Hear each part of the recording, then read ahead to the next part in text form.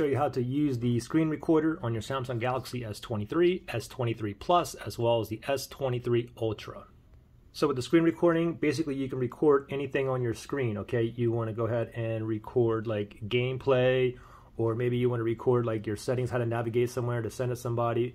Anyway, you're just going to be recording anything on your screen, and it can also record the audio coming out as well as you using a mic and you speaking over it. So first thing is how do we get this started? Very simple. Just click on the home button here and we want to slide down notifications from the top. Okay, so we want to slide down like this and we're going to put our finger right about here and we're going to slide down again. And now we're going to look for screen recorder. Okay, my screen recorder is right here. If yours is not here, swipe over to the left. Look at look for it here. Anyway, mine is right here. Okay, so if we want to start screen recorder, we will tap this right here and then we have some uh, three options here and one down here. We're going to go over this in one second. Okay, before we start the um, screen recording example, let's look at the settings first, okay? The settings of the uh, screen recorder. So let me slide down notifications again, slide down again. And now screen recorder is right here. I'm going to press and hold it now, okay? So I'm to press and hold, and it's going to bring up the settings here, okay? You can see uh, show toolbar after capturing. So of course these are optional. You have sound here, those three options. Will I'll, show you that in one second. Video quality, the highest is 1080p. And you, you have a selfie video size here. You can turn on your selfie video, which will show like a little tiny window. It's going to show the front facing camera, the selfie side, and you can make that large. I'm just going to keep it here in the middle and I'll show you this example as well.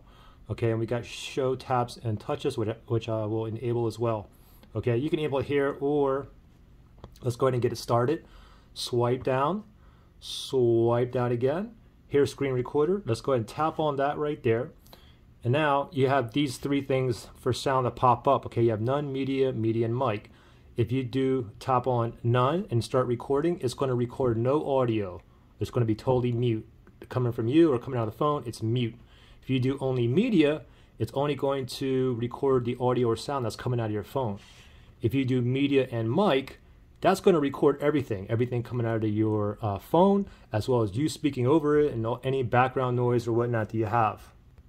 And of course, we have show taps and touches. I like to have this on. This way, when you start recording and you uh, tap somewhere or touch somewhere, it's going to show like a little like white dot.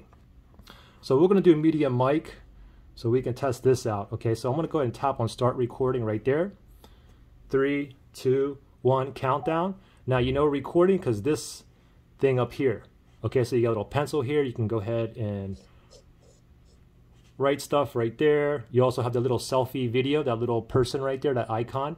If you tap on that, this is the selfie, and it's all recording right now, okay? So you can see me right there. Of course, I could have made that a little bit larger. I think this is on medium here. And let me go ahead and go back here. You have a pause button right here. You can go ahead and pause the screen recording as well. And let me go ahead and resume here. And then we can also go to, let's go to YouTube here. And let me go ahead and take off this selfie. Okay, so that's off right there. So for example, let me go to the video here. Oops.